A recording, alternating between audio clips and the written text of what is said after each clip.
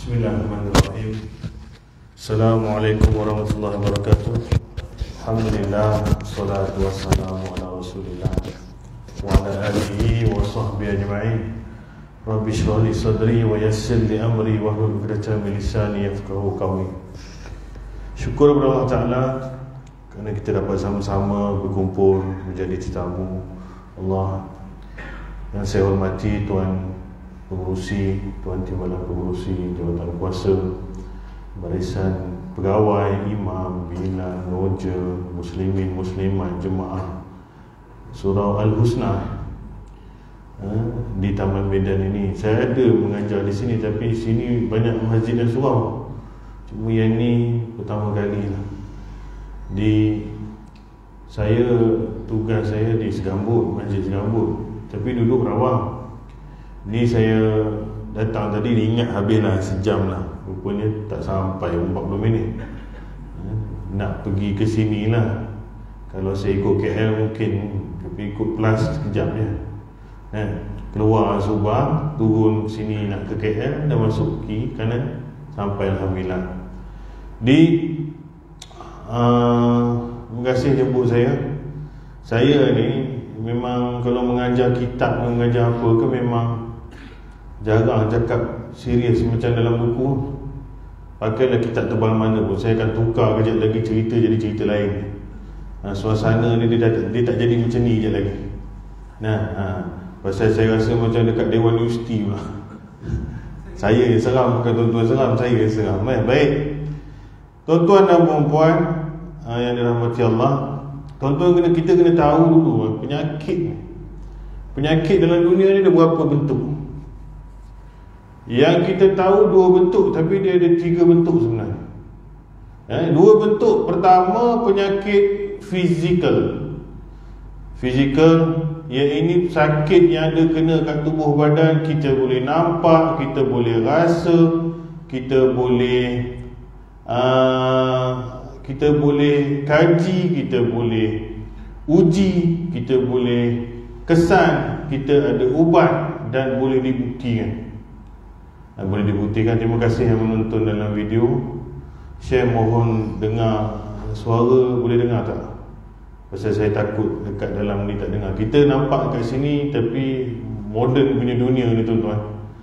Mungkin penganjuran di sini dia tersebar luar. Di mana tu kita kongsi sama-sama? Bukan reti sangat pakai pun. Dengan batang besi ni nak kena bawa dengan wayar ni nak kena bawa pening nak tengok benda ni sudah pening. Sudahnya bateri habis Apa pun tak dapat. Penyakit fizikal Penyakit yang kena tubuh badan Kita boleh rasa Nampak ada bukti dan sebagainya. Apa contohnya? Ha, Contohnya sakit biasa lah Darah tinggi lah. Pergi klinik depan tu Doktor masuk satu benda kat tangan kita Dia pam pam pam pam pam Cik 220 ha, 220 tu dah Dangerous lah Bahasa Melayu. Dah berbahaya itu boleh boleh nampak boleh putih kita pun datang pening datang nak tumbang macam-macam. Sakit belakang lah sakit bahu dia cek pula darah macam mana kat jari tu dia cucuk. Buh kat kertas. Tengok-tengok 18 apa tu 18 tu? Bukan umur 18 gula 18 ha, gula 18 ha, darah tinggi 22 sekarang saya pergi surat kena pergi hospital sekarang Kencing manis pula. Glukos dalam gula tinggi Boleh diuji. Penyakit dia pun wujud. Kita rasa ngantuk malam-malam Kerap kencing dan sebagainya. Apa lagi? Banyaklah sakit jantung Covid Demam. Nah, gaut-gaut lagi senang nampak. Semalam balun makan sotong Hari ni bengkak dua kaki. Ha, Itu gaut lah tu. Ha, Jadi ini penyakit-penyakit fizikal saya rasa kita tahun 2022 dah tak ada dah orang pergi jumpa bomoh sakit macam ni. Nah, orang kena kecil manis pergi jumpa bomoh saya rasa heran lah. Dulu mungkin lah. Sekarang kalau ada juga saya tak tahu kaya lah bomoh tu. Apa dia boleh buat? Insulin tak ada, apa pun tak ada. Nah, dia bagi teh tarik lagi ada. Jadi tak ada dah. Mungkin dulu-dulu ada orang tak ada ilmu, tak tahu. Okey, apa dia? Sakit fizikal. Nak ubat macam mana? Pergi jumpa doktor. Tu saja. Sakit nombor dua, spiritual. Ha, ini penyakit yang melibatkan perkara gaib. Apa ni? ha, jin sihir ini wujud sakitnya ada tapi tak boleh dibuktikan tak nampak nah pasal pembuatnya adalah syaitan ya. Dia tak nampak. Sakit tu ada. Oh, Macam kembung perut. Kadang-kadang nampak jugalah. Cuma bila pergi hantar doktor Doktor cakap tak ada apa-apa je tu. Tak nampak pula darah dia ada masalah Apa semua kuman dia tak nampak. Ha. Sakit-sakit sihir. Macam-macam bentuk sihir ada. Daripada jin. Kita orang Islam percaya benda ni wujud. Pasal apa? Pasal Allah suruh percaya. Kenapa Allah suruh percaya? Dia turun ayat Quran banyak pasal sihir.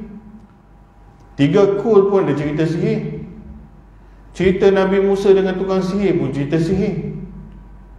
Satu surah cerita pasal jin Takkan nak tolak. Nabi SAW pernah kena sihir dengan Nabi Al-Asam Orang Yahudi.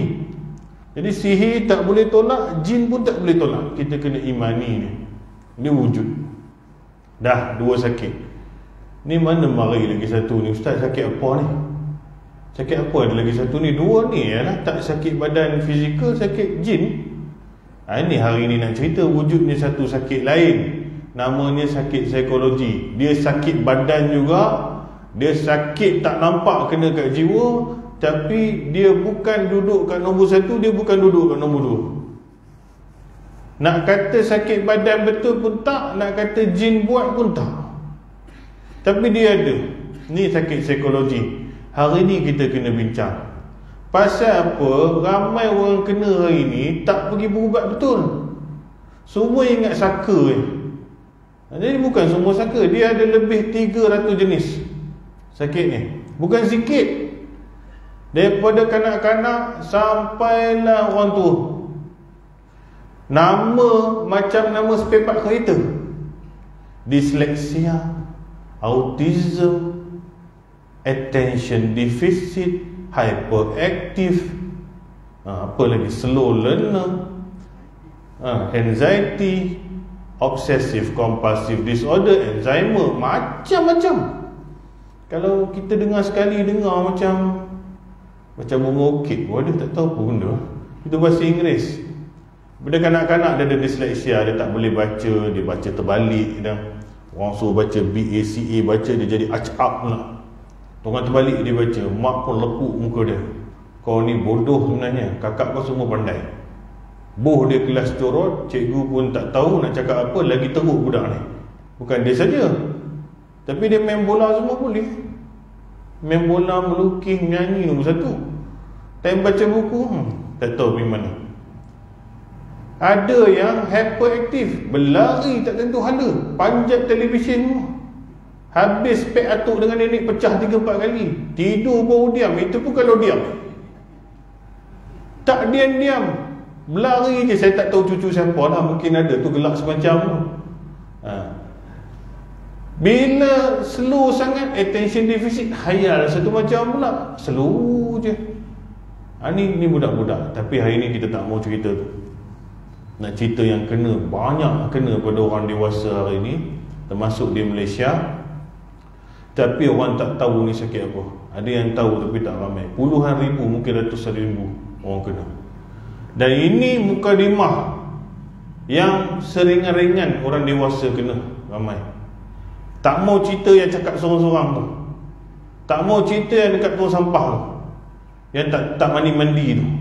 Kita cerita yang paling ringan. Dua daripada sepuluh orang Dah kena salah satu daripada tiga ratus sakit Ni dalam ni ada berapa orang? Seratus ada ni.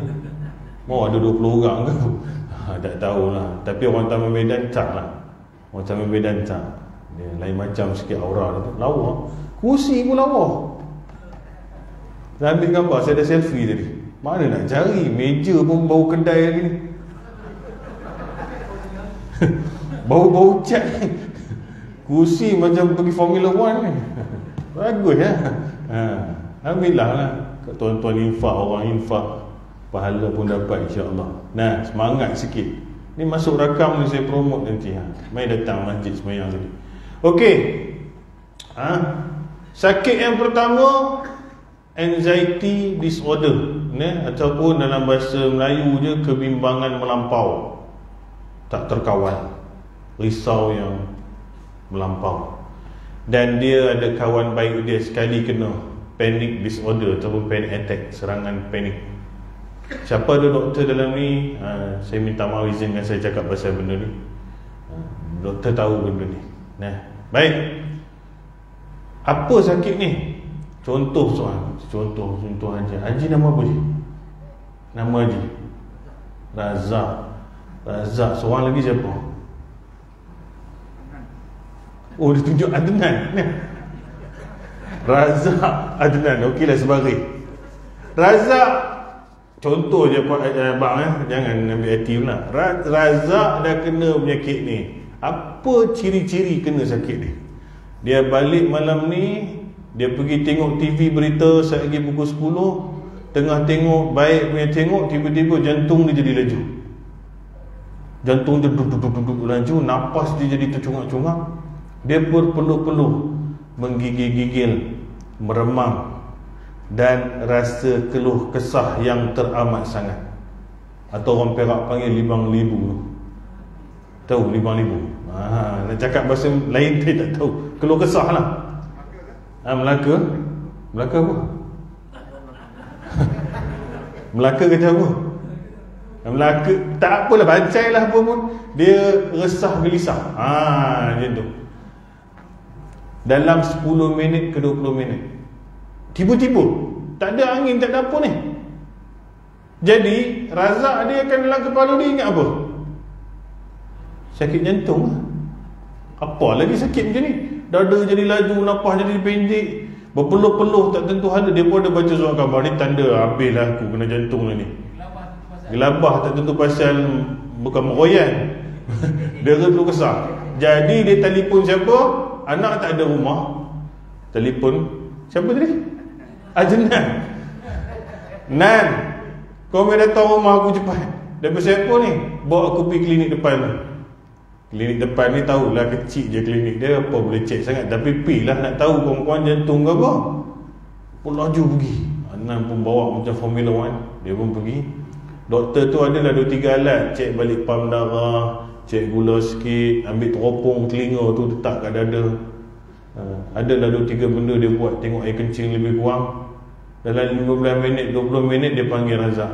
Doktor panggil bang main sini sah Razak duduk duduk duduk ni habis aku ni tiga kena blok ke apa kena blok ni. Doktor cakap tak ada apa bang Alhamdulillah baik. Semua, tak ada apa. Tak ada apa saya separuh mati tadi kat rumah ni. Mana boleh tak ada apa-apa saya tak tahulah saya doktor Tapi kalau tak ada bukti saya nak cakap apa? Bagilah satu dua benda boleh balun ke apa? Tak boleh. Kita boleh bukan boleh main-main ni ubat. Dia tak ada apa-apa saya cakap tak ada apa-apa. Dia membalik kecewa. Kecewa bukan apa. Gembira tak ada sakit. Kecewa tak tahu apa sakit. Ha, Jadi dalam otak dia dia ada fikir Allah Mungkin tadi aku sakit jantung Pergi dah elok. Ataupun doktor tu punya alat tak cukup. Tak betul dia check Aku ada ni sakit jantung ke apa ni? Dia dah risau. Ha, Start daripada dia kena tu dia dah risau. Risau ni membawa kepada mula dia ingat jantung-jantung Kanser otak ke paru-paru lubang ke apa tak tahu. Dia dah fikir macam-macam. Pasal benda tu kena kuat. Kali kedua dia kena Ketika dia balik surau Al-Husna. Duduk buka pagar rumah ni dia pagar. Ke rumah flat ha, Naik tangga elok Naik tangga Masuk pintu Duduk kat sofa Tak dan buat apa-apa lagi Kena lagi sekali. Dia cakap habis lah Ni memang aku baru naik tangga ni. Ni memang jantung lah ni. Tak lain tak bukan lah ni. Kena macam tadi ni. Napas jadi laju Berdebar-debar Berpeluh-peluh Resah Meremang-remang Macam-macam rasa dia. Jadi dia nak suruh Apa Adnan ni. Ha, Dia jenuh lah Suruh Siapa dia rumah Siapa dekat rumah? Anak lah kata misalnya. Ha, Bawa bapak pergi. Kali ni dia tak mau pergi klinik kecil tu dah. Dia pergi klinik besar sikit ada dua pintu. Pasal mesin lebih sikit. Itu hari aku dah pergi klinik ni tak jadi apa. Pergi klinik besar sikit doktor bagus sikit. Klinik 24 jam pintu dia besar jamban dia dua. Ha, Ada x-ray dalam tu boleh lah ada mesin 2-3 mesin. Dia pun pergi Dia pun baring. Doktor buat apa? Bubuh 10 lebih kurang royak cucuk ni. Apa benda tu? Ha macam biasa ECG itu bukan cek bateri. Itu nak tengok rhythm gelombang jantung tu. Dia punya baca apa dia punya wave gelombang. Habis razak pun habis dah aku habis. Ini memang sah lah aku kena ni. Dia tak pernah kena benda tu. Air kencing pun ambil x-ray dada pun pergi. Pasal dia klinik mahal dia ada mesin tu x-ray dada ni nak tengok jantung bengkak ke tak apa ke tak dia buat semua lah.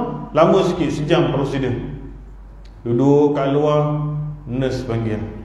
Haji uh, Doktor panggil masuk bilik. Dia pun masuk bilik. Dengan harapan dia tahulah kali ni. Apa ni? Kong-kong dapat ubat ke apa Doktor cakap Saya tengok Cik Razak ni. You punya result ni Lagi bagus daripada saya. ah, Umur berapa je? Umur 52 Betul tak? 66 Cik Razak 66 tapi umur macam 26 Dia cakap doktor jangan merepek doktor. Saya dua kali dah kena benda ni. Saya suruh pun nak mati tadi. Saya tak tahulah Haji kenapa mungkin kena rehat lebih sikit ke apa ke Ada masalah apa ke. Saya tak tahu tapi Ikut saya punya kira ni Saya tak ada apa-apa lah Berapa? Okey. Okey-okey lebih 180 Saya klinik mahal. Ha, tak apalah duit tu. Tapi dia tak puas hati. Jadi bila dah dua kali kena Tak dapat jawapan Otak dia tambah risau lagi. Apa dia? Dia fikir dia dah nak mati. Ha, Dia mula fikir Esok dia mati ke Ataupun yang datang tu malaikat ke Ataupun dia nak kena stroke haba ke Dia nak kena Dia kena Parkinson ke Dia dah fikir macam-macam eh Kuman sesama baru ke Dia dah mikir jadi dia mula cakap kat bini dia yang tersayang Yang kalau ada apa-apa dosa minta maaf banyak-banyak lah. Ni kalau ada apa-apa abang hutang tolong bayar ni apa-apa merepek ni bang. Dia bukan merepek ni aku dah nak mati sangat rasa. Surah Al-Husna yang datang hari-hari Datang hari-hari tak? Ha, dah datang seminggu sekali. Muka dah macam Macam bukan orang lah Mata dah bengkak ke dalam Cengkung makan cak lalu Dia mula tak mau keluar rumah. Datang sini pun kurang. Naik kereta jauh-jauh dia tak boleh pergi tempat orang ramai tak boleh. Ha? masuk lift dia takut lift tu nak runtuh. Naik eskalator tak boleh tengok mendung tak boleh kilat tak boleh. Dia macam-macam rasa. Dia rasa sangat pilu sangat sayu dah mula nak pergi murung. Dah mula nak pergi murung. Dia putus asa dah. Dia aku ni nak mati dah ni kalau semayang Jumat semayang kat depan pintu tu ha? pasal senang nak cabut. Kalau kena jantung macam tu. Dia mana mau semayang kat sini? Dia memikir Kalau cerita soal khabar buka pasal mati Dia rasa dia nak mati. Gi kubur tak boleh. Tengok ambulans tak boleh. Batu nisan tak boleh. Dia macam-macam ni. Kalau nak senarai kan Berpuluh benda dia dah terganggu. Tapi dia nak cakap dengan orang Dia rasa macam merepek. Dia duduk tahan seorang. Jadi Kali ketiga dia kena. Kat mana Anak menantu bawa jalan Pi makan sate? Time makan sate ayam Cantik tak ada apa. Time dia bubuh sate kambing Jam tu kena. On the spot kena. Dia cakap dah ni. Memang jantung lah ni kambing. Kolesterol kena dengan kacang Dicampur pula dengan air sirap yang sangat manis. Sekarang confirm aku kena jantung Adnan kena lagi sekali. Nan Kali ni kau tak usah bawa aku pergi mana-mana Kau shoot aku pergi hospital. Hospital mana boleh dekat? UM ha, PPUM Orang PPUM dengar marah PPUM Dia nak pergi hospital terus dah Dia cakap no no ni. Ini semua klinik semua merepek ya. ha, Jadi hospital biasa dah sampai Prosedur. Dah pukul 10 malam Apa lagi kena admit lah Pasal nak ambil blood test Blood test result kurang-kurang 4 4 jam 5 jam. Esok punya cerita lah. Ha, kali ni banyak sikit alat. Endogram ada kilogram ada MRI ada macam-macam I ada. Otak dia pun dia x-ray keluar 12 bacaan. Semua. Full package. Tak tahu mana duit dia dapat lah. Yang penting dia tahu. Kali ni aku nak kena tahu betul-betul. Ok cek punya cek punya cek ha, ni ada masalah sikit lah Pasal esok tu doktor datang kertas macam ni punya banyak. Dia datang seorang, dua assistant ada yang trainer baru pun ada dah keliling kawan ni. Ji. Haji apa? Nama? Razak. Haji boleh telefon keluarga sekarang.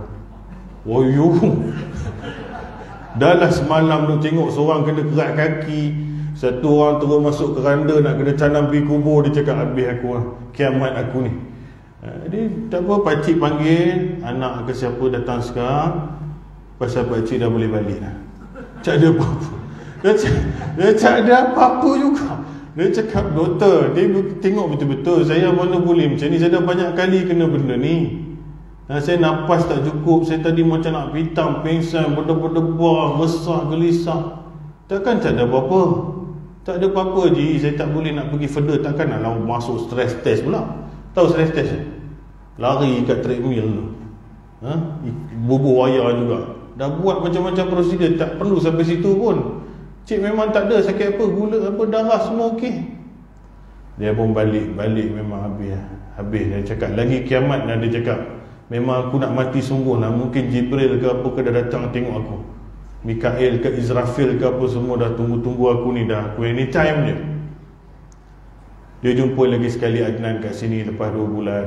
Muka pun dah tak muka orang lah Adnan pun tanya kau kenapa Nizak Kau bukan tak tahu aku dah banyak kali pergi hospital. Tak tahu apa aku sakit ni. Adnan pun cakap macam ni lah. Kita kat Taman Medan ni kan ada rawatan Islam. Nah ada ustaz-ustaz kan? Cuba kau ikhtiar tengok tahap apa jin ke apa ke mana lah tahu.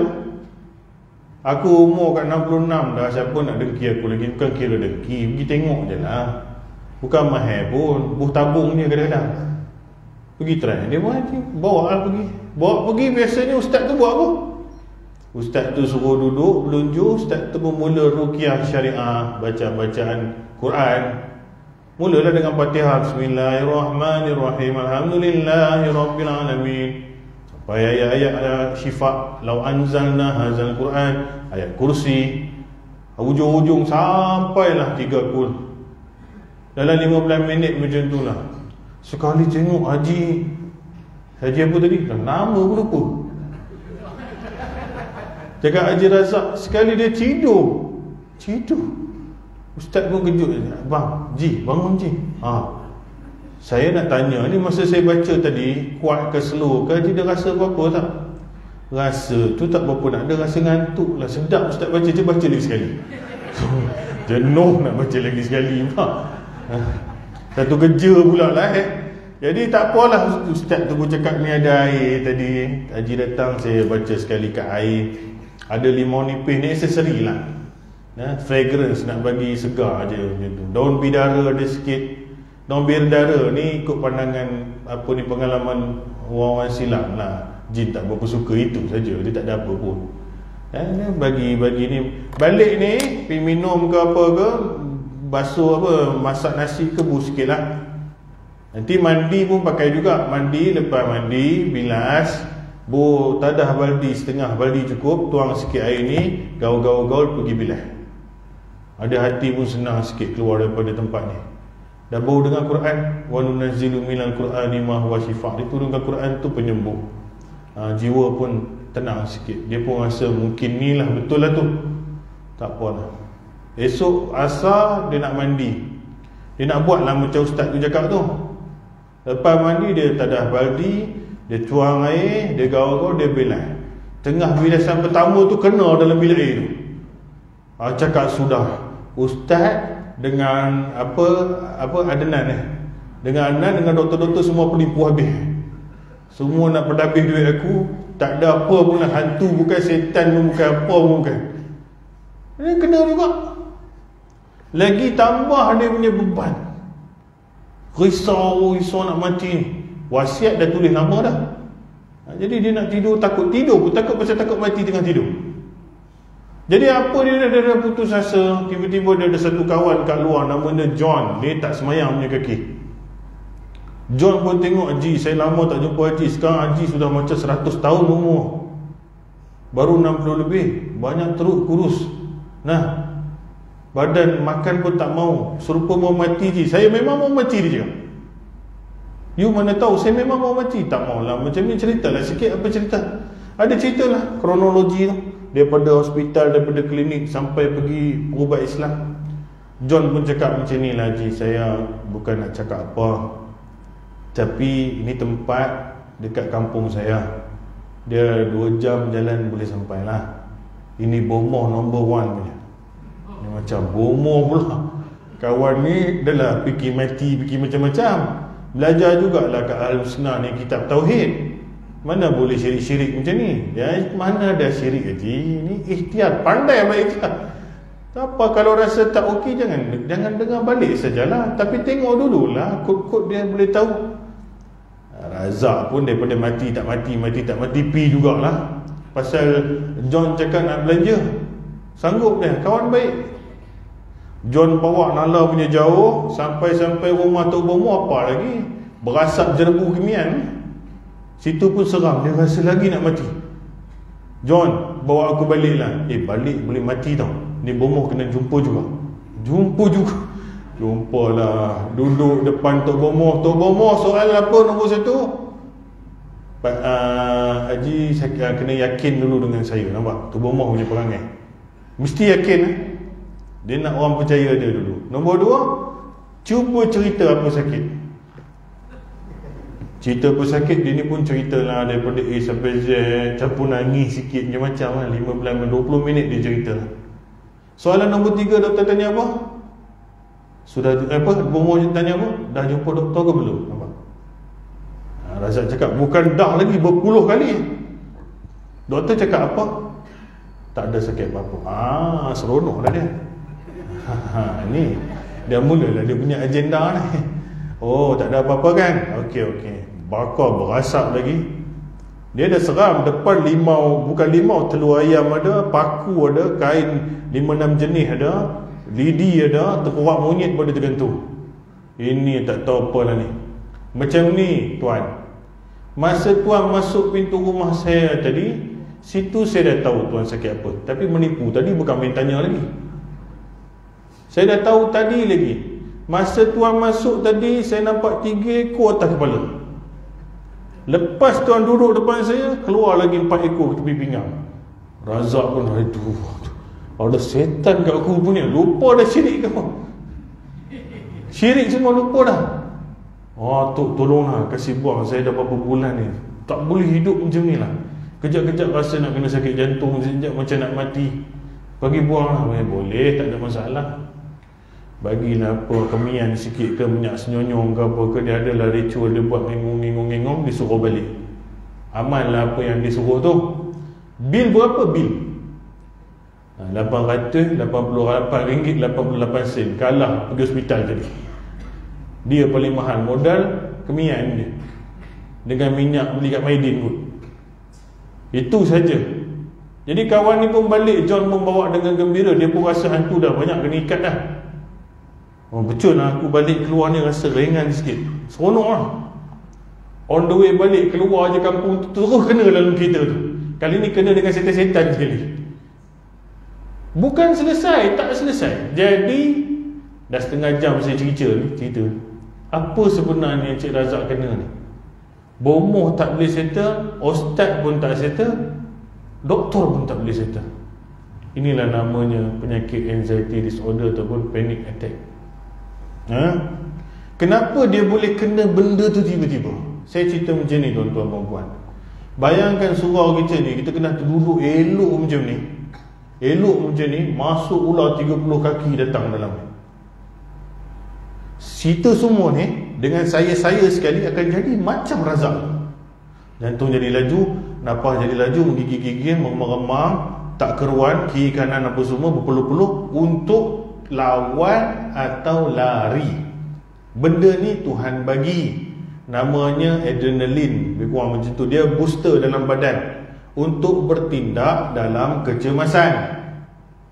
Supaya you ada tenaga lebih sikit nak lari atau nak lawan ha? benda ni bukan kat sini saja. Contohnya cucu hilang kat shopping mall. Tengok nenek tu macam mana rupa ni. Dia tak jantung jadi lalu. Napas cakap pun tak boleh. Handphone pegang pun menggigil. Kiri tak kanan tak. Itulah rupa dia. Jadi dia pun Dia ada tenaga lebih. Eh? Benda ni jugalah Kalau makcik kat belakang pakai telekong tu Anjing nala punya besar kejar Parit depan tu lima kaki pun boleh lompat Pagar ni pun lompat sekali je. Esok datang balik tengok Macam mana aku buat semalam? Cuba try. Cuba try beratus kali tak boleh. Kecuali ambil anjing tu letak lagi sekali. Ini tenaga lebih Tuhan bagi untuk kita bertindak kecemasan. Kadang-kadang kita ada pegang anak kita Orang nak ambil anak kita Kita boleh lawan. Perempuan boleh lawan dua tiga orang lelaki. Tenaga dia lebih. Pasal Tuhan bagi pertolongan cemas. Dalam dalam kecemasan Keluar benda ini Tengok ular. Tu yang dia tegak kan Dia pun kena benda tu juga. Kucing kalau gaduh Tengok macam mana rupa. Kan dia menggigit-gigit. Meremang bulu dia naik. Ada cek jantung dia laju ke tak? Berani cek-cek lah. Ha. Orang nampak hantu Macam tu juga. Pencuri masuk rumah Kita nampak Kita jadi macam tu juga. Duduk-duduk laju. Gelisah. Nak lawan ke nak apa? Kita ada tenaga Lebih kurang 10 kali ganda dan dia ada 10 ke 10 minit macam tu lah bukan lama sangat pun. Selesai masalah itu kita akan jadi normal balik. Tuan-tuan nak uji senang je isteri ada ke tak benda ni. Balik rumah pergi bawa madu. Madu kena madu yang asli.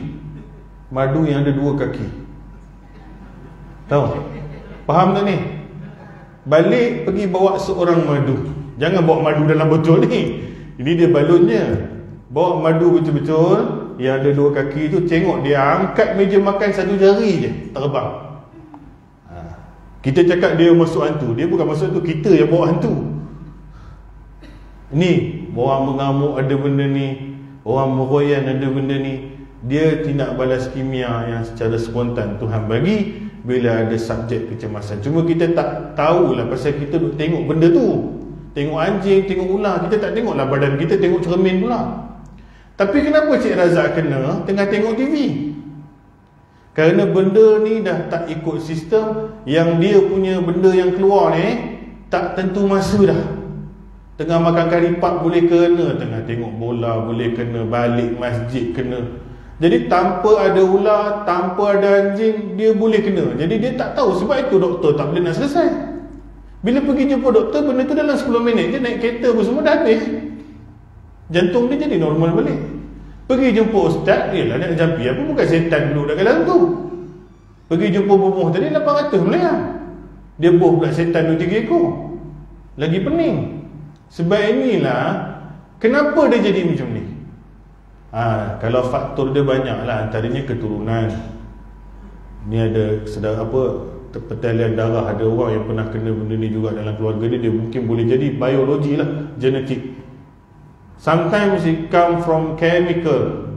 Orang isap dadah duk makan benda ubat jamu yang bukan semua jamu jamu yang tak sesuai dengan badan dia, dia boleh jadi juga. Tiba-tiba razak dia ada semangat sikit nak makan ubat kuat. Ada budak muda jual. Faham ubat kuat ha, ubat kuat lah. Kuat kerja Datang masjid dia rasa semangat sikit macam tu. Makan-makan-makan Tak cek doktor Dia punya darah tak sesuai dengan benda ni. Dia mungkin ada sakit sikit-sikit benda lain. Jadi bila kena kahwin dengan ubat ni Jantung dia pun macam nak meletup dah. Tiba-tiba nafas jadi laju. Ha, Keluar benda ni Nak bagi tenaga lebih. Tapi Razak tak makan ubat ni. Jadi kimia pun bukan Keturunan pun bukan. Apa lagi? Setan ha? Jin tadi pun dah cek juga Bukan juga. Pasal ustaz tadi baca dia tidur eh jadi kebarangkalian banyak punca ni ialah persekitaran, tekanan, stres, ha? ataupun ada benda yang berlaku dalam hidup dia, ada kematian orang terdekat, kemalangan, trauma, terkejut. Kadang-kadang bukan pasal semalam, bukan pasal kemarin, mungkin puluhan tahun dulu. Tapi benda ni nak rosak, dia jadi sekarang. Contoh kita ada tayar kereta kita meletup terbelah dua Kita jangan marah. Orang Semalam punya pasal dah lima tahun tak tukar tayar. Hari ni dia terbelah dua Jangan fikir semalam. Mungkin yang kena kat dia ni daripada dulu Dia pernah kena dera kecil dulu. Ha, Tersimpan masalah ni. Kemudian ada masalah kewangan sikit rumah tangga ke apa ke Ada kematian adik-beradik ke Campur, campur, campur, campur Hari ni meletup. Ha, Jadi ubat dia apa? Ubat dia memang kena jumpa PSY secretary. Jangan ingat jumpa orang ni jadi gila. Dia nak tengok dulu macam mana ada ubat boleh bagi tak nak bagi stabil sikit. Jantung ni relax sikit macam tu. Bukan ubat penenang je. Nah, lepas tu dia ada rawatan-rawatan lain yang ujung nanti saya akan cakap lah. Nah, dia bukan boleh satu, bukan boleh bekam saja, bukan boleh uh, jampi aja. Semua kaedah dia kena buat. Asalkan dia boleh sembuh. Ni sikit, ni sikit tolong. Pasal masalah ni psikologi. Ha, dia ada masalah kena selesaikan masalah dia. Apa yang dalam kepala dia fikir, banyak benda kita kena buat. Jadi ni satu. Satu pun dah pukul 8.35. Kalau sebut lagi satu ni kena panggil lagi sekali ya. Ha, itu masalah dia. Apalah. Lagi satu nombor dua was-was OCD. Was-was melampau. Benda ni saya cerita kat banyak tempat. Muka Mukadimah saya kuliah di mana-mana memang saya cerita benda ni. Pasal saya tak jauh jumpa tuan-tuan perempuan bila lagi. Saya tak tahu bila. Jadi ini peluang saya untuk cakap benda ni dan bagi orang tahu benda ni wujud. Sebab tu kuliah banyak-banyak tempat kalau yang baru saya cerita benda ni. Seterusnya sakit was-was. Was-was ni ada yang Allah Ta'ala bagi. Ada yang syaitan bagi dan ada penyakit Allah bagi macam mana? Yang kita rasa Eh ni halal ke tak halal? Nampak? Ragu-ragu Untuk tambahkan iman kita. Berhati-hati terhadap agama. Nah, nak buat benda ni ish Nak ambil benda ni Orang punya ni kan Ambil hak orang. Ah, tu Ragu-ragu tu. Nak belanja benda ni Ish tak boleh lah Esok lusa nak pakai duit lagi Bazik Ah tu. Keraguan basic yang Allah Ta'ala kirimkan supaya kita berhati-hati. Betul. Was-was yang kedua syaitan bagi ini memang dia punya favourite lah alladhi waswisu fi sudurin nas minal jinnati wan nas eh. pembisik-pembisik yang di dada manusia dia bisik dia kejap lari kejap datang kejap lari kejap datang kalangan jin dan manusia Nabi SAW kata ada satu jenis eh, spesies jin yang akan kacau orang semayang namanya khinzab dia duk bagi orang ingat itu ingat ini sampai rakaat pun lupa. Rakaat pun lupa. Ha, jadi ada setan-setan memang majoriti was-was ni yang buruk setan lah buat.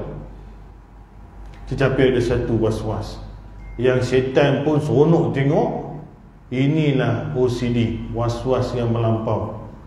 Was-was ni kalau saya cerita kat tuan-tuan macam nak pengsan dengar, macam tak percaya dia wujud. Eh? Pertama was-was geometrical OCD. Was-was ni dia tak boleh tengok benda sengit. Ha ni. Si nak bagi lurus. Itu jam tu sengit frame tu. Kalau AJK tak ada dia panjat tangga dia betul kan. Kalau dia tak betul kan, dia punya diri gelisah macam razak tadi. Ni langsir-langsir sengit ni mana boleh ni? Kena bagi straight. Tapak tangan ada kat cermin dia, dia nak lap, dia tak boleh tengok hanger susun kalau warna hijau warna hijau warna merah warna merah selipar susun selipar lepas tu kasut dari segi masa kalau kena mandi pukul 8 malam anak mesti kena mandi 8 malam. 8.5 minit tak boleh. 7.55 pun tak boleh. Kalau dia masuk pintu ni balik kena pintu ni walau 10 pintu ada. Kalau jalan nak pergi ke Rawang tu ada 5 daripada sini dia tahu satu Satu tu jadi ikut Walaupun banjir. Ha? Kalau ada mozaik luar tu Satu kali satu Dia akan jalan dalam mozaik tu Kalau kena bucu Dia patah balik. Dia jalan lagi sekali Kalau tangan ni dah kena benda ni Tangan kiri pun nak bagi kena benda ni juga. Kalau Swiss dia kawan kanan Kiri pun nak bagi kena juga. Dia punya balancing dah masalah. Kalau dari segi kerja terlalu cerewet Terlalu teliti Berulang-ulang semak benda. Dari segi masa Dia tak boleh langgar undang-undang masa dia. Dia sendiri cipta masalah itu. Ini geometrical OCD Jarang ada orang macam ni Tapi ada. Tantah ada dalam ni. Dia diam je tu Terkebir-kebir tu dia lah tu. Eh. Biasanya anggota-anggota yang uh, Berdisiplin Dan dia terbawa-bawa benda tu. Bukan semua lah. Bukan semua Ada sebenarnya Kedua OCD kebersihan. Kebersihan. Kebersihan ni pecah dia banyak sangat. Dari segi najis dari segi kotoran ada kawan saya bekas polis dia jumpa saya dia cakap Wan kawan aku ni penyakit dia dia ambil duit kertas buh dalam mesin basuh dia mesin sekali duit dengan baju-baju ke apa tak tahulah. Tanya pasal apa? Pasal dia cakap dia takut kuman covid baik bagi kita duit tu. Hancur dah masuk mesin basuh Kuman tak dapat apa pun tak dapat sudah. Tapi selamat pula duit dia Dia bergantung Nasib baik tak serika lah lepas tu Hantar azan dulu lah sekejap Panggil orang semayang Tu kita sambung. Hari ni boleh minum eh? Ya?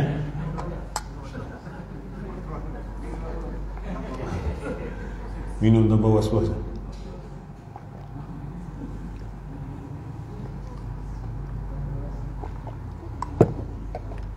Waalaikumsalam Semua. Terima kasih menonton Om Namah Shivaya.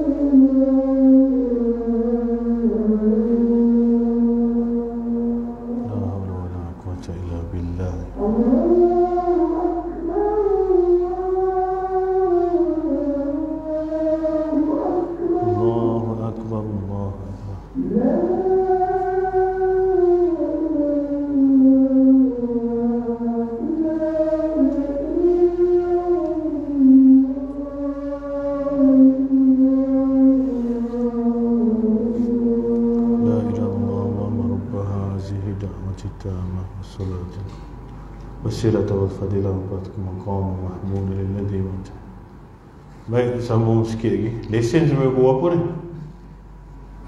Jemilan tu dah habis dah tu. Ha, Kau ada yang batuk lebih lah. Mula bangun besar gelisah lah. Pasal apa? Lapor Daripada maghrib ada yang duduk sini nak, lah Dia nak faham semua lah. Sembilan tu okey lah. Baik. Tadi yang basuh. Basuh tangan dia puasa sampai dia hancur tangan. Kalau dia cuci najis Ya Allah Kalau kita cuci najis budak kencing Setengah jam tak sampai. Dapatkan dia setengah hari. Ha. Lepas lap-lap lagi Palap-lap lagi Palap-lap lagi. Kalau dia wuduk punya lama Berkali-kali. Kadang kita tengok ada orang tua ni Dia dah basuh sampai kaki lama Dia ulang balik muka Ulang balik setengah jam Sejam. Mandi wajib Setengah hari. Saya ada passion tuan-tuan. Yang mak dia bawa jumpa budak ni umur 20-an Ustaz masalah anak saya ni pada kebersihan kesucian. Masuk ibadat Berapa pasal apa mandi wajib pun masalah. Berapa lama mandi wajib ni? Dia bukan lama lagi dah. Tidur dalam jamban Ha tu saya cakap Macam pelik. Dia punya was-was Bukan sejam Dia punya was-was tidur dalam toilet Tak tahu berapa tangki air dah mandi. Ha. Ni kalau bab macam ni Contoh lah Orang yang ada masalah was-was kebersihan ni Saya ambil satu contoh Kalau dia pergi tandas awam ni. Dia buka tombol tu mesti pakai tisu pegang macam tu. Tolak. Pasal apa dia pakai tisu pasal duduk fikir yang tadi pakai tak basuh betul tangan ada najis pegang sana pegang sini tombol pintu tu pun ada najis tombol pintu dia buka dia, dia buka dia dah pegang dia dah buka dia tolak bila dia tolak seluruh kawasan tandas tu dianggap ada najis daripada kepala paip, batang paip sampai lantai, sampai lah mangkuk tandas tu, sampai dinding-dinding tu, sampai pintu-pintu tu dia rasa dia najis. Dia rasa. Jadi, apa dia buat sebelum dia nak buang air, dia kena jadi cleaner part time dulu kat situ. Dia kena cuci dulu tandas tu. Dia cuci, bukan macam kita cuci. Kita buka air tembak-tembak lebih kurang dah lah. Dia punya cuci macam cuci kat rumah. Hilang bau, warna dan rasa. Nah, dan kenapa lambat dia punya cuci? Ni ni ni. Pertama nak buka air, kepala paip tu dia dah rasa ada najis dah. Bila dia buka kepala paip tu, tangan dia dah ada najis. Dia ambil paip tu dia jurus tangan dia. Tangan dia mengalir pula ke batang paip tu. Dia tembak pula batang paip tu, jatuh kat lantai. Dia tembak lantai kena slipper. Dia tembak slipper kena baju dia pula nak basah pula baju dia. Baru dekat area paip tu belum lantai lagi Belum dinding lagi Dia rasa orang kencing pegang tepi-tepi Belum tempat nak buang air tu lagi Dia tembak situ kena lantai-lantai kan pusing-pusing Nak tak habis lah benda tu. Berapa lama? Setengah jam. Sejam. Jadi saya pernah buat bengkel ni pada orang yang macam ni. Di LPPK dulu saya ada satu bilik Doktor sekretari ada sebelah. Oh, patient nak jumpa saya boleh nak jumpa doktor boleh. Sama je kita orang. Saya pun akan cerita pasal ubat juga doktor akan cerita pasal agama juga. Pasal kawan saya doktor dia dia pengajian Islam juga ustaz juga lah patient ni duk pilih-pilih kan oh, nak jumpa doktor lah kena juga. Ha, jadi kadang-kadang ada LPP Ken call saya ke atas ustaz ni bawa seorang dah sangkut dalam bilik air tak keluar-keluar. Siapa? kadang-kadang ni ustazah. Imam ada kena benda ni. Pengetua sekolah agama ada kena benda ni. Jangan kita cerita dia tak semayang. Jangan cerita dia tak mengaji Quran. Ni orang agama Sakit hati dia kalau kita cakap Kau ni tak semayang sebenarnya. Amboi Jangan macam tu. Ha? Belajar dulu. Kenapa dia boleh jadi macam ni? Bukan kira semayang tak semayang. Ha? Jadi orang alim Orang-orang warak pun kena. Ni ustazah kata ustazah. Saya suruh keluar juga bilik air. Ha, Muka muncul. Keluar dah sejam Dah setengah jam.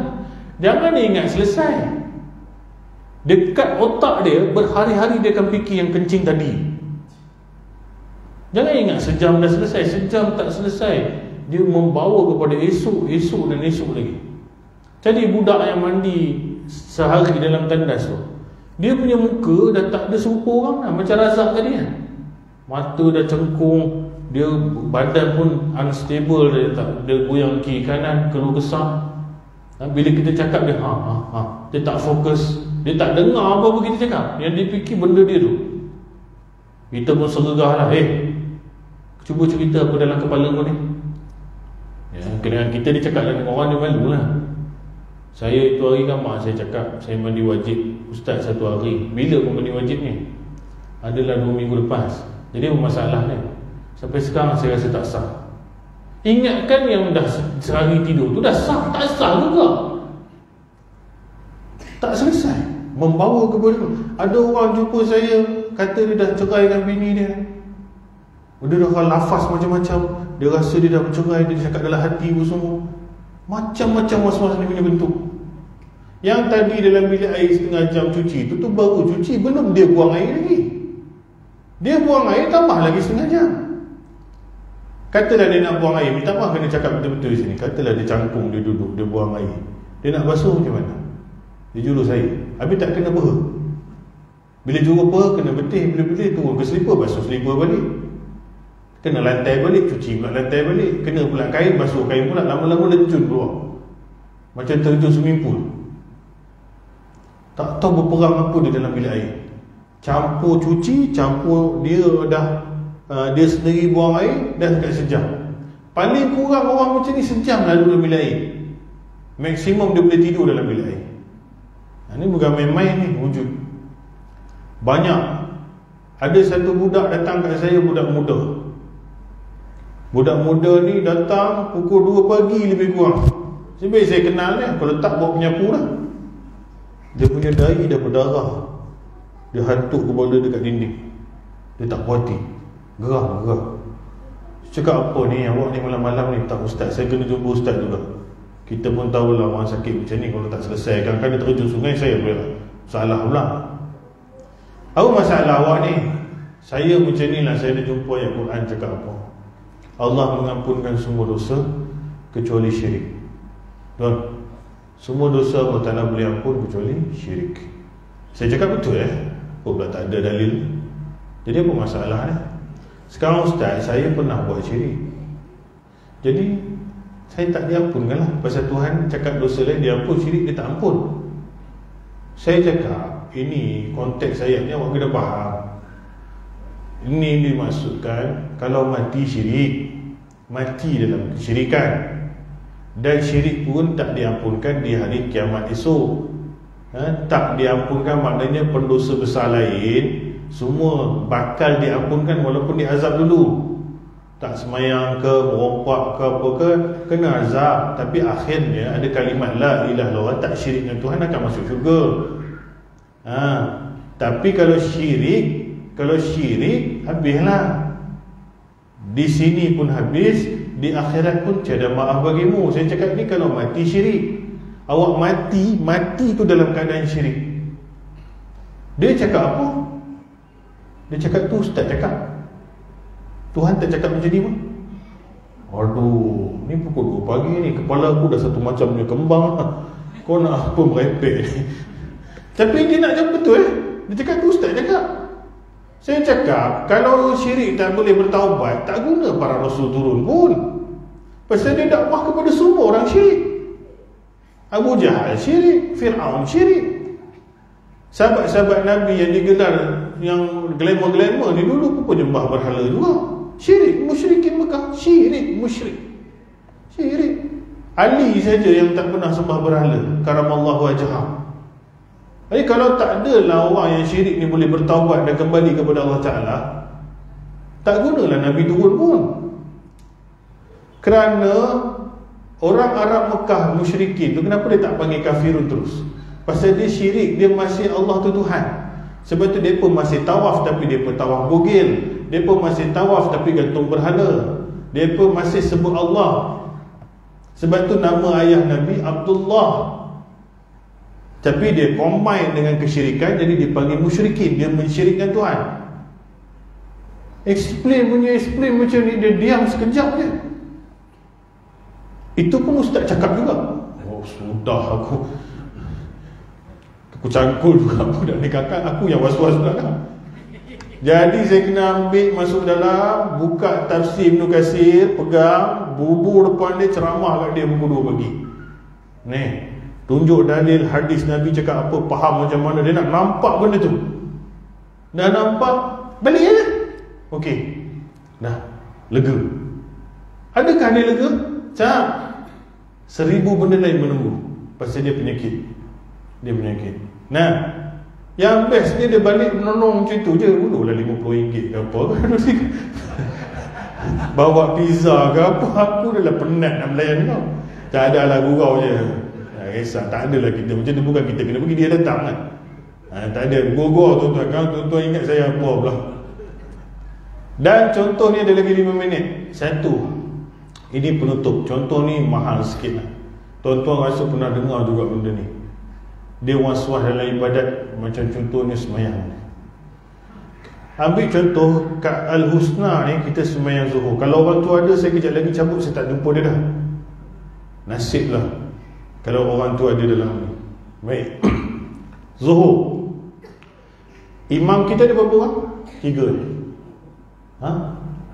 Empat. Dahsyat. Imam ada empat orang. Tujuh. Tujuh kalah majlis saya. Majlis haram pun lebih kurang tu. Imam ramai. Okey, dia ni ada masalah OCD ibadat. Orang dah baca Fatihah Dia mesti masbuk punya. Biasa dia tadi duduk Basuh kaki, ulang kepala balik. Basuh kaki, ulang kepala balik Tak tahu berapa kali.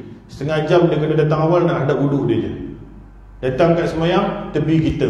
Lenjun habis basah. Habis basah ni Penat ni Ha, uduk berapa kali tak tahu lah Kita pun baca Fatihah baik punya Baca sendirilah pasal semayang zuhur. Bismillahirrahmanirrahim. Alhamdulillahirrabbilalamin Ar-Rahmanirrahim. Sampai Malik Yawmiddin Dia punya tangan Allah! Akbar! Kita ayu Sekarang saf dah rapat ni. Dia punya tangan nyari Nak kena masuk kita punya mata ni. Dia bukan kira dah orang. Dia punya Ush. Lepas tu bukan sekali. Oh kita bola rolling tak sampai lagi. Sangkut nak tunggu dia punya. Ha, ha.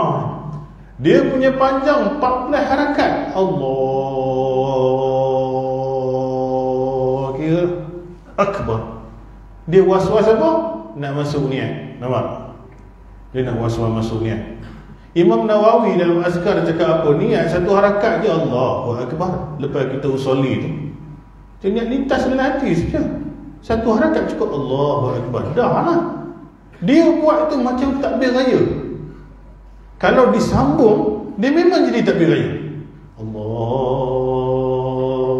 Akbar Allahu Akbar Allahu Akbar. Baik dia buat macam tu Daripada tiga kali Kita tak walak dolin lagi ni. Tak walak dolin lagi ni. Habis orang tua ni Tiga kali Dia mesti ulang tiga kali. Kita pun walau doli dan alhamdulillah lega dah. Kira pakcik ni dah duduk diam lah ni.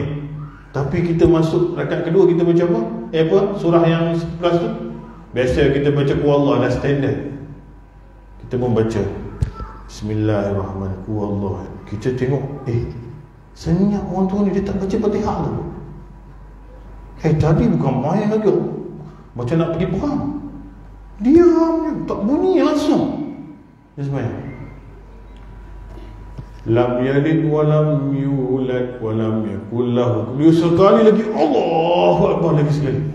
Oh syuh ada lagi. Pasal apa dia diam? Pasal dia fikir Jadi tiga kali tu dah dapat ke belum Tu pasal dia tak baca fatihah lagi.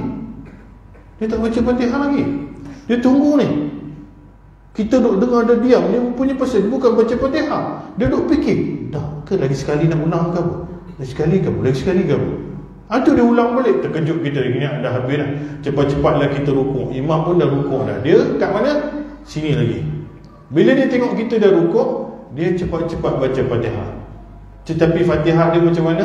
Ha ni saya Bismillahirrahmanirrahim. Alhamdulillah Alhamdulillahi Rabbil Alamin Ar-Rahman. Uh, Satu batu nak pergi dengar. Pasal apa? Dia was-was pada bacaan pula. Ustaz cakap bacaan Al-Fatihah kena betul tajwid. Kalau tak betul Fatihah tak sah Tak sah. Fatihah semuanya pun tak sah Wush, jadi ha besar kena besarkan, ha kecil kena kecilkan. Itu yang al al al.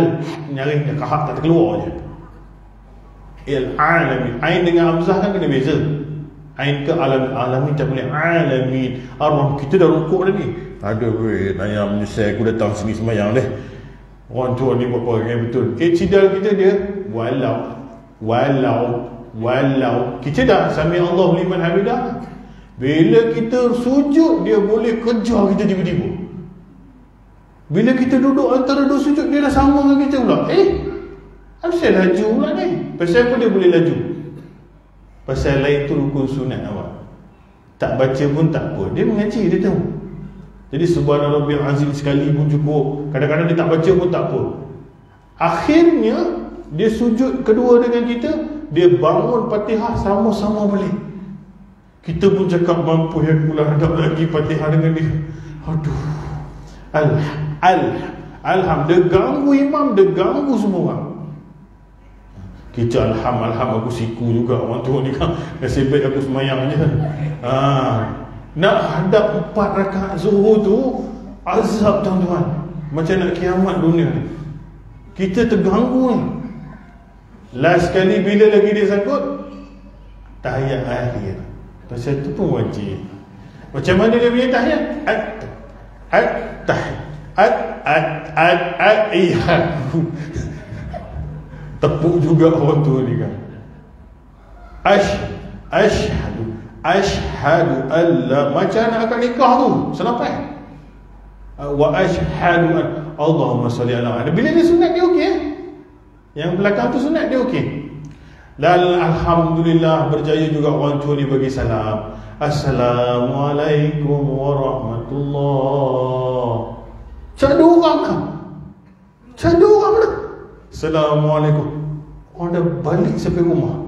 Dia punya at at at. Jadi dia balik dengan harapan yang sangat kecewa. Isteri dia dah masak kari ayam terhidang di atas meja. Lalu isteri dia pun menyebut sang suami Bang, mehlah makan nasi ni. Saya ceduk kan?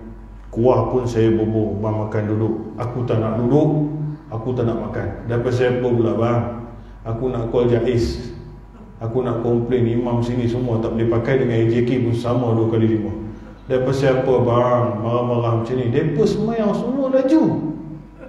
Dia yang lambat nak mampu eh Dia cakap orang semua semayang laju Bini dah tahu dah, dah kahwin lama dah, 40 tahun, dia tahu dah. Tapi layankan juga lah suami, nak buat macam mana? Yang imam ada ramai tu bang, imam muda tu, takkan baca laju, dia tapi habis Quran. Dia lah laju, dia muda. Habis yang tua seorang tu, yang tua seorang tu keluar Allah je banyak. Bukan sini lah tuan-tuan ya. Kamar saya pula. Contohlah. Jadi dia komplain jawatan kuasa aircon, kipas semua jadi masalah dengan dia. Ni bini dah suap nasi ni kari ayam ni. Bang main lah makan nanti kau jahis tu lah. Tak call pun dia punya marah je. Dia punya risah tu je. Tak mau aku tak mau makan. Pergi barenda tingkat tiga tu, duk pandang surau ni.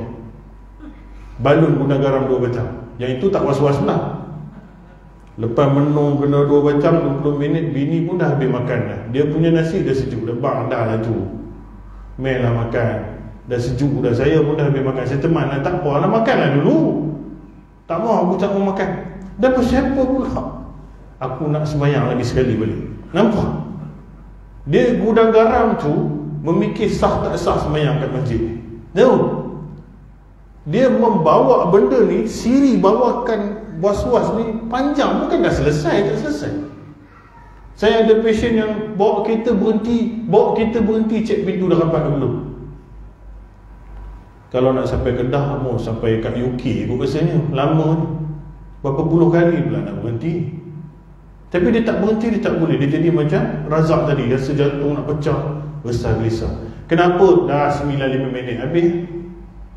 Tak boleh nak sebut kenapa lah sempat Sekarang lah. Ada hem kat luar tu Dia tak tahu. Dia ada masalah sama juga. Chemical tertentu namanya Serotonin. Antara penyebab lah. Yang dia ada kat belakang kepala ni Yang buatkan dia rasa macam tak kena benda ni. Contohnya ni Saya hempuk ni ni ha, Tuan-tuan Panca indera dah dengar dah bunyi pun. Mata pun dah nampak kena tangan ustaz ni. Dan kita pun cakap itu dah kena. Cuma orang yang sakit ni dia nampak, dia dengar Tapi otak dia cakap tak kena. Masalah Masalah neurotransmitter dia tak sampai Nak bagi signal dah kena. Ustaz berkepit apa ni Ustaz? Ada ke benda ni? Ni Pernah tengok tak anak cucu sunat? Nah modern ni jangan ikut batang pisang tu.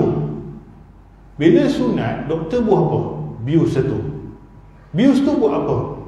Pergi tutup rasa sakit tu. Budak ni bukan pengsan Dia boleh cakap makan ayam Main game kenal mak bapak dia. Dia tak hayal pun. Dia tak ngantuk pun. Semua benda lain dia boleh buat. Tak kurang sifat dia Tapi benda tu potong dia tak sedar pun. Dia tak rasa. Doktor tutup Swiss apa Swiss rasa. Walaupun dia nampak dah gunting Dia tak rasa. Inilah penyakit ni. Ada kimia tu dah tak seimbang. Jadi walaupun dah kena dia duk rasa tak kena. Itu dia ulang ulang ulang ulang. Nah benda ni ada kat kepala. Tu orang macam ni tak boleh minum kafein banyak-banyak. Akan jadi lagi masalah. Pisang elok kena makan hari-hari. Jangan standar pula.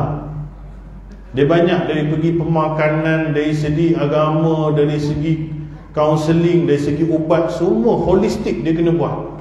Nak baik benda ni.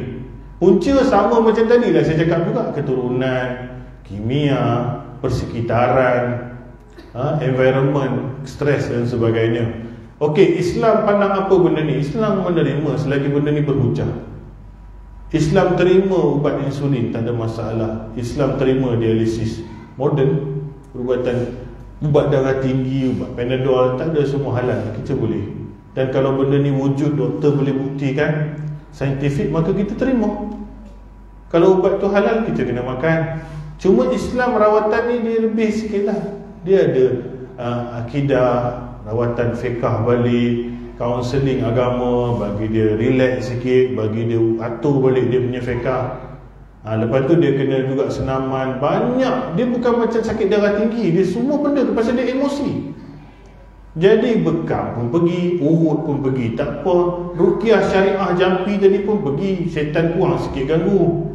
Walaupun bukan dia pencetus utama, tapi dia orang macam ni dia sukalah kacau. Dia sukalah kacau. Jadi syaitan pun kita kena urus juga bagi dia jangan dekat. Doktor pun kena pergi juga. Jangan pilih satu-satu. Saya nak jumpa ustaz je je. Saya bukan ada ubat. Bab ni saya boleh tolong lah. Bab yang kat kepala awak tu, kimia tu saya nak buat macam mana? Doktor pun dia akan ambil darah Cek semua Tak ada masalah thyroid ke Gula kurang ke Nak cek semua dulu Baru boleh cakap dia sakit-sakit kat otak ni Ini kalau jumpa orang macam ni Suruh dia pergi rawatan Dia akan teruk Ganggu dia Ganggu keluarga Dan teruk lagi dia boleh sampai ke skizofrenia Dia pergi bipolar Kemurungan Cakap sorang-sorang Lagi masalah. Pasal ini dua saya cakap paling ringan ni Muka dimah banyak lagi berat atas tu. Kalau ini tak boleh urus akan akan akan jadi lagi banyak. Bukan jampi tak boleh tapi dia bukan itu sahaja. Kena faham. Kita orang Islam orang ni takkan kecil manis kita jumpa ustaz jampi je maka ubat maka ubat lah juga janganlah nak jampi je gaut pergi jampi tiup ya boleh juga tapi keberkesanan dia mungkin kurang ada satu cerita, cerita lagi. Budak umur 25 tahun, kawan saya psikologis, sembang dengan saya. Macam masuk hantu. Cerita TV tu, macam histeria tu. Kalau tuan-tuan tengok memang ingat masuk hantu lah. Tapi kalau kami, kita tengok dalam beberapa minit kita tahu dah. Ni hantu ke bukan. Pasal jin ni dia ada karakter lain kalau kena. Sihir ni kita boleh define lagi. Dia ada beberapa ciri lah kalau gangguan jin dia ada beberapa ciri kalau psikologi tak sama walaupun dia beragam macam sama perempuan ni umur 25 lebih kurang merangkak tak tahu nak jadi apa macam sebiji masuk itu dalam TV tapi kawan saya psikologi relax relax relax tengok-tengok eh dia bukan hantu ni tak apa lah nak cakap oh, family dah memang ingat setan ni dah. Apa? Kita diam-diam dapat masa dengan budak ni cakap dengan dia betul-betul. Dek, mari sini lah. Kau tak ada apa-apa ni, kau pun cerita Apa masalah? Dia pun tengok kita tahu Ish. Dia cerita, nangis-nangis dia cerita. Apa sebenarnya dia kena? Rupanya umur 11 tahun dulu dia kena rupa Oleh cikgu dia. Betul eh? Kenapa umur 12 tahun, 13 tahun dia tak ada apa-apa Dia relax Pasal dia budak lagi. Dia tak tahu kesan rogol tu jadi apa. 13, 14, 15 mungkin dia tak ada masalah tapi mungkin umur 25 dia dah nak kahwin. Mungkin dia sudah tunang dia dah rasa dendam marah. Eh aku kalau boleh nak bunuh cikgu ni kalau boleh aku nak report polis dia semua dah 20 tahun punya cerita macam mana? Datang dendam datang. Dia meracau si biji macam masuk hantu bukan hantu. Cikgu dia tu yang hantu. Ini kita jampi macam mana pun belum tentu boleh baik dah pasal masalah dia kat sini. Dengan jiwa dia. Dia kena selesai masalah kes robot tu. Nak report polis ke nak mak bapak tak boleh bagi tahu mesti kena punya lah pasal sekarang mau bagi tahu dan malu. Bakal suami ke apa mungkin. Dia masalah ni. Ha, terbuku dengan kita dia bagi tahu lah tapi kita nak buat macam mana? Urus okey dik macam mana? Nak reda ke? Nak minta kat Tuhan ke? Macam mana? Nak bagi dia jangan jadi zombie tu. Jadi bukan semua kes. Saya jumpa lebih kurang 10 kes macam ni Dua je betul-betul jin. Lapan lagi ada hal lain. Bukan nak cakap bohong lah. Ha, Kita pernah buat bengkel Ada perawat-perawat Islam datang Lepas habis bengkel Dia datang jumpa saya Ustaz Rupanya mungkin kami ni Didatangi oleh orang yang sakit-sakit macam ni lah. Kita duduk mengaji hari-hari Rupanya datang lagi Rupanya tak baik-baik Pasal mungkin sakit psikologi. Saya kata memang lah. Awak tak boleh jampis barang ni semua. Kena ada bilik untuk kaunseling dan tanya dan sebagainya. Dah sekat tu dulu dah terlebih juga. Jadi saya mohon maaf. Nak soalan nanti lepas kemudian nak tanya ambil nombor telefon saya. Sakit-sakit macam ni nanti telefon saya lah. 016 jangan datang 2 pagi dah. 016 371 6005 Syazwan Jaafar Ni video ni saya akan share kat Haji eh. Haji akan tembak Nanti kawan-kawan lah dengan saya dalam Facebook. Kuliah-kuliah Saya ni ustaz biasa juga tuan-tuan. Ngajar pada benda lain. Tapi hari ni saya nak kena cakap benda ni. Pasal lepas ni saya tak ada peluang tak tahu. Ha, Benda ni penting eh? Jangan ingat ni. Pasal ada tempat panggil saya ustaz mental Dia duk ingat saya ni ustaz mental Ada, saya ustaz biasa lah. Ajar tafsir ke ajar apa sama macam biasa. Wallahu ta'ala alam. Terima kasih. Saya mohon maaf. Cara saya betul dari awal saya cakap Suasana akan berubah bila saya ceramah. Ha? Ah, Ustaz cool Dulu cool sekarang tak cool mana lah. Debak je lebih Subhanakallah. Bihamdika. Syurillah tasafirukah wa tubilai wa bilai taufiq wal hidayah. Assalamualaikum warahmatullahi wabarakatuh